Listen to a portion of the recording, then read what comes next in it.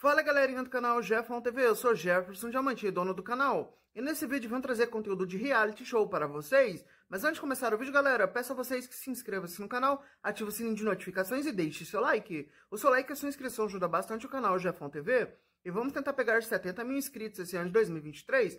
Conto com a ajuda de vocês. E agora, sem enrolação, vamos para o vídeo, galera.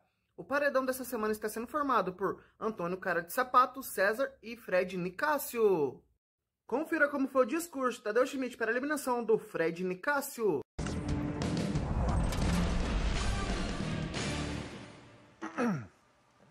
Ligado, não tava, mas tinha o outro na tomada.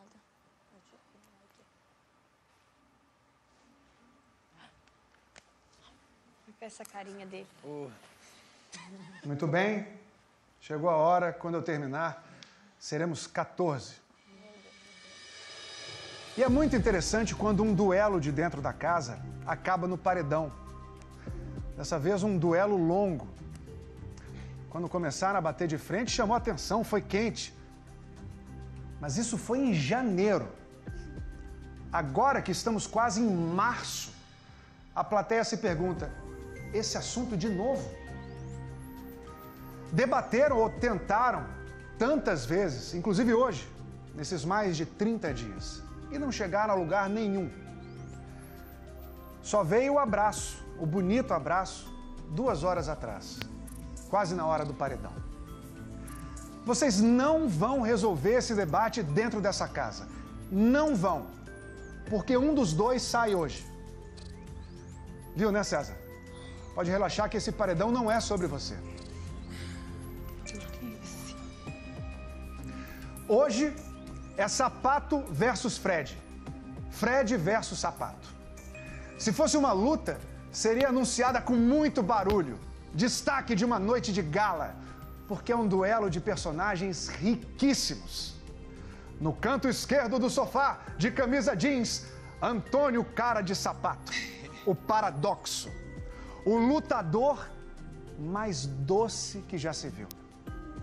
O mais distante do que se imagina de alguém mas encarar uma palavra, ou mesmo uma ideia que faça um mínimo arranhão no coração é insuportável.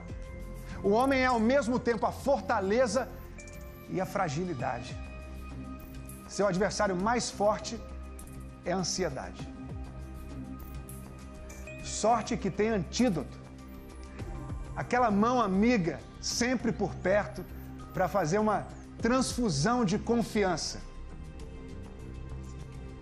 no canto direito do sofá, de roupa na cor fúcsia, Dr. Fred Nicásio, o príncipe, dono de inúmeros cinturões de campeão na luta da vida. Venceu o preconceito contra o homem preto, venceu o preconceito contra o homem gay, venceu preconceitos para ser quem ele é, para ter a profissão que tem, para seguir a religião que adora. Você é exemplo para tanta gente em tantos sentidos. Sabe disso, né, doutor?